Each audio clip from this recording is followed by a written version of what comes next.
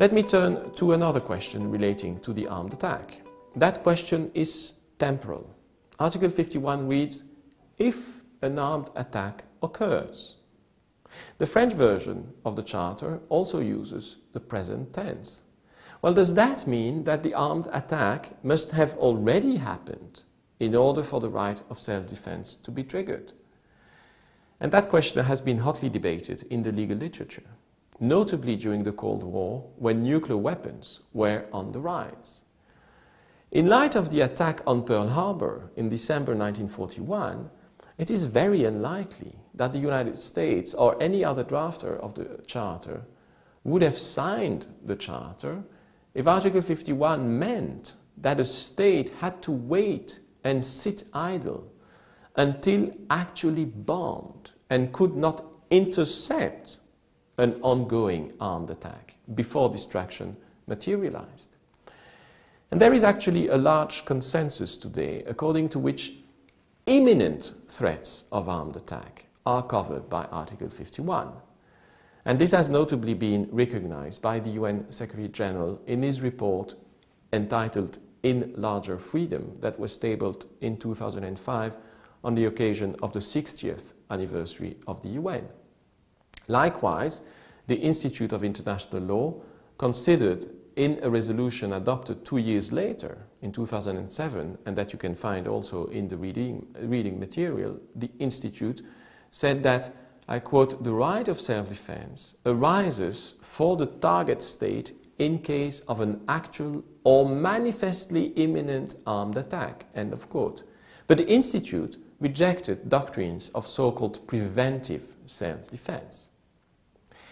The possibility to use force in self-defense in case of an imminent threat of armed attack is sometimes traced back to the formula used by the US Secretary of State Daniel Webster in the diplomatic letter he addressed to his British counterpart following what is called the Caroline incident in 1837. The Caroline was a ship used by Canadian insurgents and it was anchored on the other side of the Niagara River. During a night raid, British troops crossed the border to the US and destroyed the Caroline. The US complained to the British government and diplomatic correspondence ensued between the two countries. In his diplomatic note, Secretary Webster famously referred to, I quote, the necessity of self-defense, instant, overwhelming, leaving no choice of means and no moment of deliberation. Although the legal backdrop, backdrop, at the time of Webster was completely different from what it is today, his words carry still a certain authority, and I'll revert to the necessity of self-defense in a moment.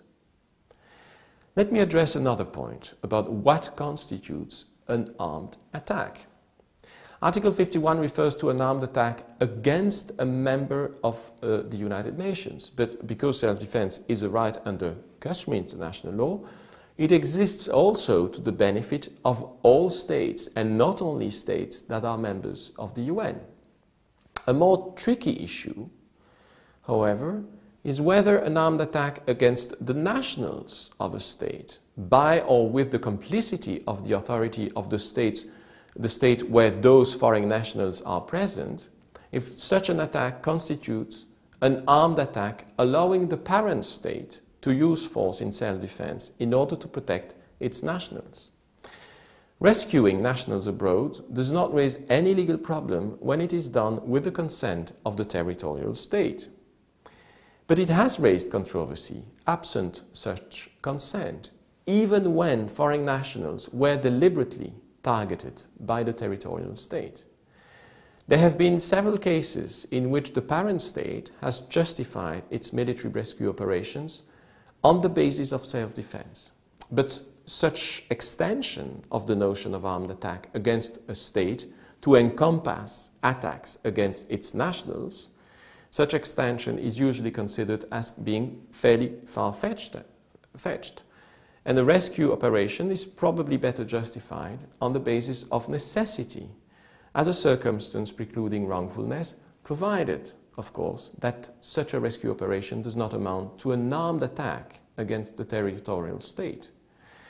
But even when the use of force remains strictly limited in scope and in intensity, the legality of a rescue operation could be put in doubt by those who consider that the prohibition to use force is as a whole a rule having a peremptory character. Finally, let me conclude this video by assuming that the author of the armed attack is another state and that the military reaction in self-defense is directed at that state. And this is indeed how self-defense has been conceived and has been applied for a very long time. And it was probably so patently obvious to the drafters of the Charter that Article 51 is silent on the matter. But does the silence of the Charter allow to consider that when the armed attack is carried out by a non-state actor, a terrorist group for instance, the, the right of self-defense is triggered? I'll revert to that question, but let us first turn to the conditions pertaining to the exercise of the right of self-defense.